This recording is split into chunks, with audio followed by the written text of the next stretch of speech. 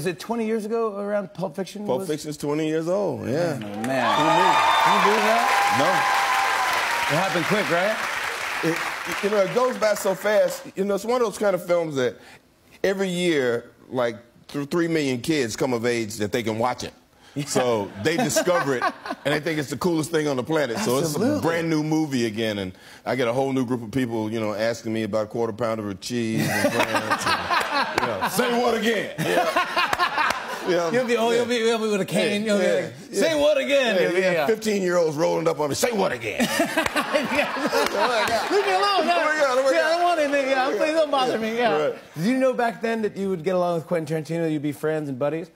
From from Pulp Fiction. The or? audition for I, I actually auditioned for Reservoir Dogs and didn't get the job. Uh oh. And I ran into him at Sundance when they were doing the first screening of it, and I walked up to him and said, "Man, say, say what again? Awesome movie. Yeah. you know, his movie was so great." And he said, "How'd you like the guy who got your part?" And I was like, "The movie would have been much better with me in it."